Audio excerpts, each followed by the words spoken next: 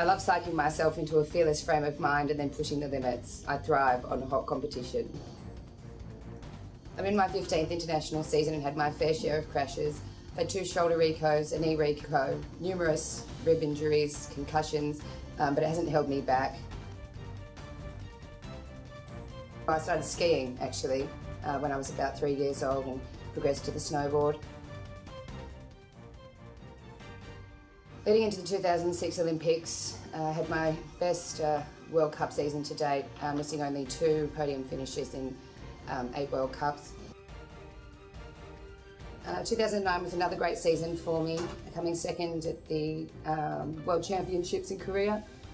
I was the first Australian woman to win a World Champs medal. 2010 Olympics, I ranked 8th overall, continued the season, placing first in the last two World Cups and ending the season third overall. In 2011 I became the first uh, Australian woman to win the World Championships. Coming into my third Olympics, I'm fitter, I'm stronger, I've got more experience under my belt. I hope it pays off. An Olympic gold medal is the only one I haven't conquered. Fingers crossed for Sochi. Watch me take on the world in Sochi.